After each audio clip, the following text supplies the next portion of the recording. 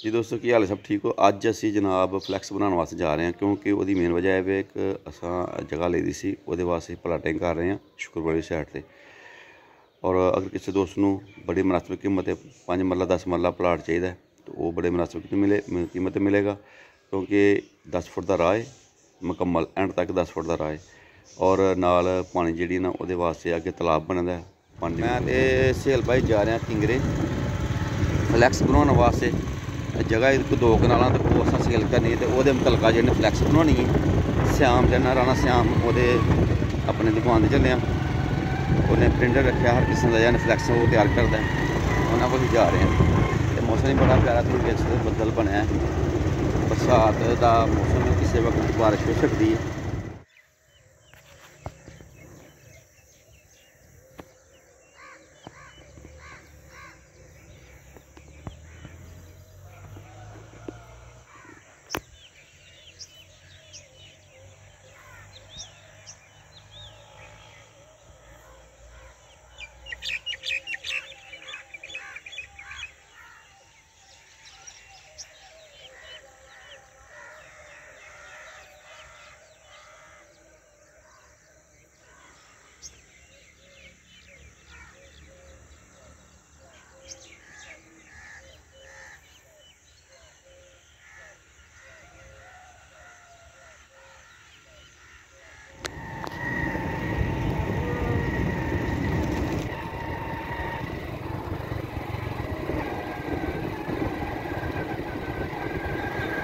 ਮਾਸ਼ਾਅੱਲਾ ਬੜਾ ਪਿਆਰਾ ਮੌਸਮ।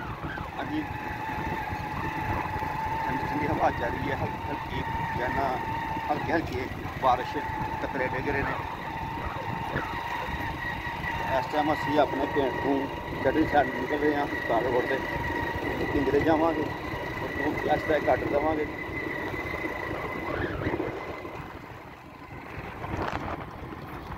ਬੈਕ ਸਾਈਡ ਤੇ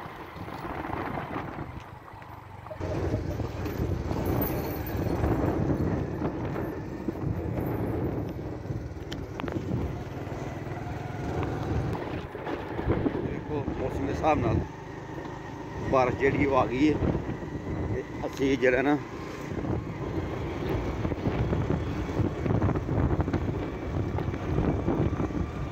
ਇਹ ਸਾਹਿਬ ਮੋਬਾਈਲ ਚੱਪਣਾ ਹੀ ਪਾ ਲਈਏ। ਕੀ ਖਿਆਲ ਹੈ?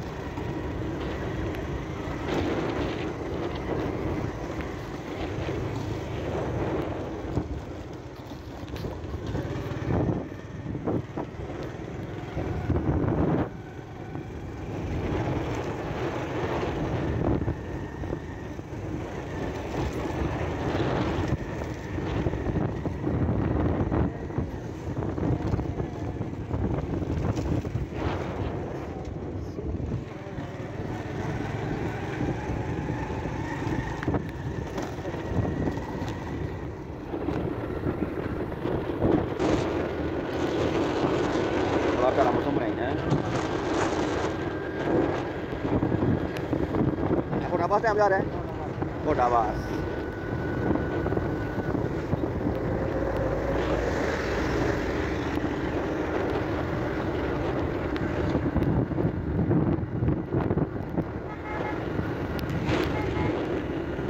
जी पहुँच चलें जी।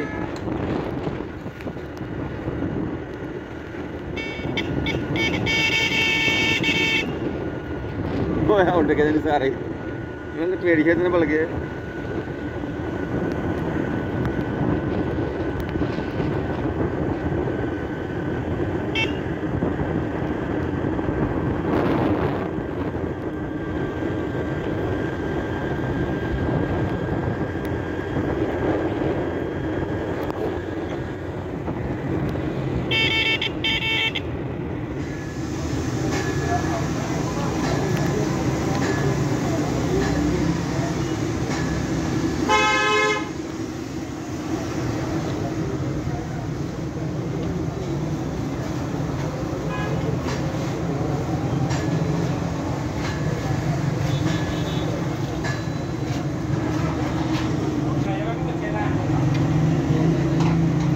ਸੁਣਾਉਣੀਆਂ ਸਾਨੂੰ ਇਹਨੇ ਸਾਨੂੰ ਫਿਲਮ ਇਹਨੇ ਸਾਨੂੰ ਫਿਲਮ ਸੁਣਾਉਣੀਆਂ ਵੇਖੀ ਇਹਨੇ।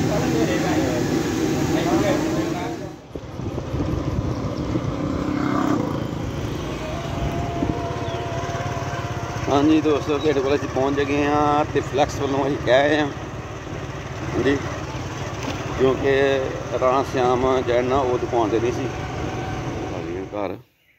ਉਹਦੀ ਵਜ੍ਹਾ ਇੱਕ ਕਿ ਜਿਹੜਾ ਨਾ ਰਾਣਾ ਸ਼ਿਆਮ ਦੁਕਾਨ ਤੇ ਨਹੀਂ ਸੀ ਤੇ ਇਨਸ਼ਾਅੱਲਾ ਕੱਲ ਜਾਵਾਂਗੇ ਦੁਬਾਰਾ ਫਿਰ ਤੇ ਉਹਦੇ ਕੋਲ ਜਿਹੜੀ ਫਲੈਕਸ ਨੇ ਉਹ ਬਣਵਾਵਾਂਗੇ ਪਲਾਟ ਬਰਾਏ ਫਰੋਖਤ ਸ਼ੁਕਰਪੁਰ ਵਾਲੀ ਸਾਈਡ ਤੇ ਪਿੰਡੀ ਪਾਗੋ ਤੇ ਉਹ ਇਨਸ਼ਾਅੱਲਾ ਕੱਲ ਫਲੈਕਸ ਬਣਵਾ ਕੇ ਦੁਬਾਰਾ ਅਸੀਂ ਜਿਹੜਾ ਨਾ ਉਹ ਲਗਾਵਾਂਗੇ ਤੇ ਅਗਰ ਕਿਸੇ ਨੂੰ 5 ਮਰਲਾ ਜਾਂ 10 ਮਰਲਾ ਦਾ ਪਲਾਟ ਚਾਹੀਦਾ ਹੈ, ਤੇ ਇਨਸ਼ਾਅੱਲਾ ਉਹ ਰਾਬਤਾ ਕਰ ਸਕਦਾ ਫਲੈਕਸ ਦਾ ਹੀ ਨੰਬਰ ਵੀ ਦੇ ਦਾਂਗੇ ਜੀ ਤੇ ਲੋ ਦੋਸਤੋ ਸਾਡੀ ਇਸ ਵੀਡੀਓ ਨੂੰ ਅੱਗੇ ਵੀ ਸ਼ੇਅਰ ਕਰੋ ਤਾਂ ਕਿ ਜਿਹੜੇ ਸਾਡੇ ਭਰਾ ਜਾਂ ਦੋਸਤ ਕੋਈ ਪਲਾਟ ਵਗੈਰਾ ਲੈਣਾ ਚਾਹੁੰਦੇ ਨੇ ਉਹ ਰਾਬਤਾ ਕਰ ਸਕਦੇ ਨੇ। ਰੱਬ ਰੱਖਾ ਜੀ ਅੱਲਾ ਹਾਫਿਜ਼।